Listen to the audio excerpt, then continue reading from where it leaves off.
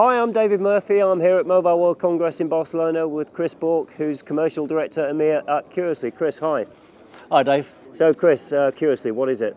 Well, Qriously is a next generation mobile ad tech network. Uh, we use consumer opinion to uncover their intent and we then serve them mobile banner ads. Uh, and inside those mobile banner ads, we ask them questions. And in response to the answers, uh, we serve them branded ads. Okay, so uh, put some flesh on that if you could. Just give us an example of how that might work.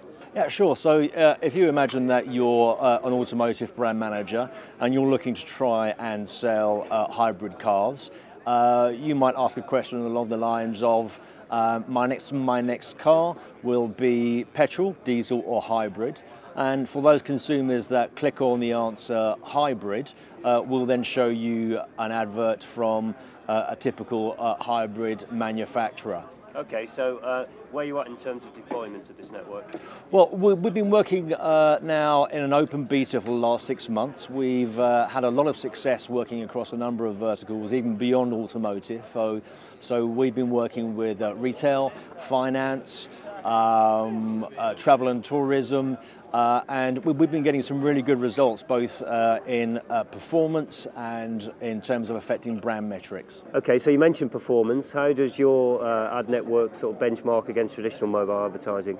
Well, we're seeing some really strong performance uplift, Dave. Uh, we're typically 100 times higher than online ad networks um, and somewhere between four and five times higher than legacy mobile ad networks. And we think the key reason for this is that when we ask consumers questions, uh, we pull those consumers into the brand funnel and they're far more likely because they've answered relevant questions, uh, they've self-selected, uh, they're far more likely to go on and engage either through click-through click through or either uh, they're affected by uh, retargeted impacts of our adverts. So we're seeing both performance and uplift in brand metrics. And just in terms of inventory, where would I come across one of your ads? Well, uh, we only serve in smartphone apps, and uh, there's a key reason for that. Um, we uh, believe that uh, we can only confidently add value through retargeting by uh, using smartphone apps rather than the mobile web. So consumers might typically find us in um, mainstream apps such as uh, Draw Something or Words with Friends,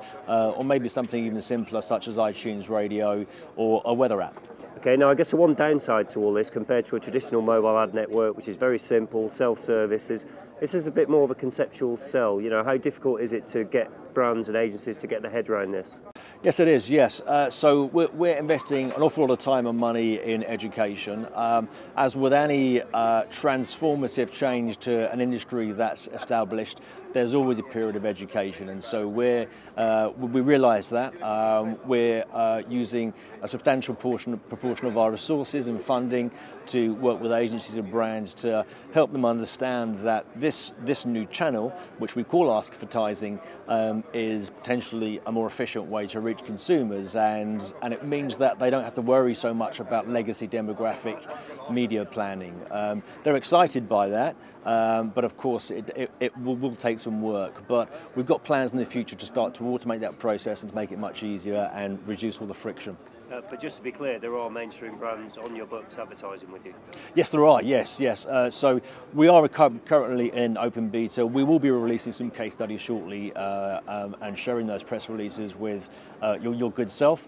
Um, but uh, but for now, what I can say is that we're working with um, some very large brands uh, across telco, finance, travel and tourism, and automotive, and we're getting some really exciting results, and we can't wait to share that share those results with you. Okay. Well, there are a lot of people who think that mobile advertising needs to be reinvented. You're not the only company doing it, but I do like your spin on it. Very best of luck, Chris. Thank you very much, David.